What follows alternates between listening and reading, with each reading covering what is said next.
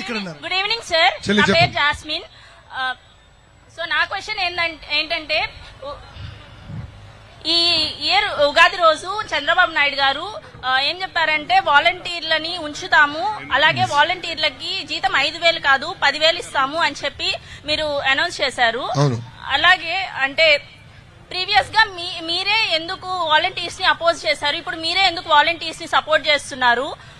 And ఒక దాని మీద మీ ఒపీనియన్ ఏంటి? అంటే ఉంచుతారా లేదంటే తీసేస్తారా? ఒకవేళ ఉంచితే నిజంగానే పదివేలు పెంచుతారా వాళ్ళకి? వెరీ గుడ్ క్వశ్చన్ చెల్లి. చెల్లి చెల్లమ్మ సర్పంచ్లుగా కౌన్సిలర్గా కార్పొరేటర్లుగా అనేక మంది ప్రజలు ఎన్నుక్కుంటారు. శాసనసభ్యులుగా కూడా ఎన్నుక్కుంటారు.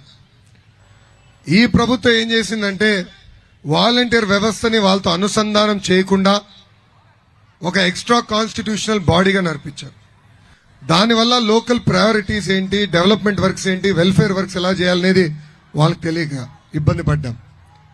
తెలుగుదేశం జనసేన భారతీయ జనతా పార్టీ మా లక్ష్యం ఏంటంటే వాలంటీర్లని రాబోయే రోజుల్లో సర్పంచ్లతో కౌన్సిలర్స్తో ప్రజాప్రతినిధులతో అనుసంధానం చేసి కేవలం ఒక పెన్షనే ఇస్తాం కాదు. ఇతర సంక్షేమ అభివృద్ధి కార్యక్రమాలు నేరుగా మీ గడపకి చేర్చాలనేది మా లక్ష్యం. మీరు చూస్తే మ- మనం సర్వేలు చేస్తాం. అనేక మందికి సర్వేలు చేస్తాం. మాకు ఒక లక్ష్యం ఏంటంటే స్కిల్స్ సర్వే చేద్దాం. అంటే ఆంధ్ర రాష్ట్రంలో what is the available skill set?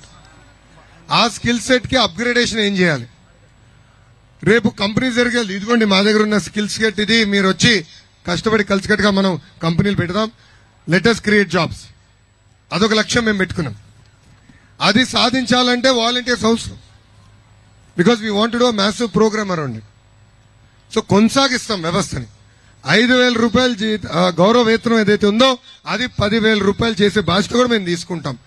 కానీ వాళ్ళని మొత్తం వ్యవస్థతో అనుసంధానం చేసి మెరుగైన రిజల్ట్స్ తీసుకొచ్చే బాధ్యత మన ప్రభుత్వం తీసుకుంటుంది. థ్యాంక్ యూ చెల్లి. సార్ వెనకాల మైక్ ఇవ్వాలి ఒక్క వన్ చెల్లెమ్మ అడుగుతున్నా అక్కడి నుంచి. అమ్మా మైక్ అమ్మా అక్కడ?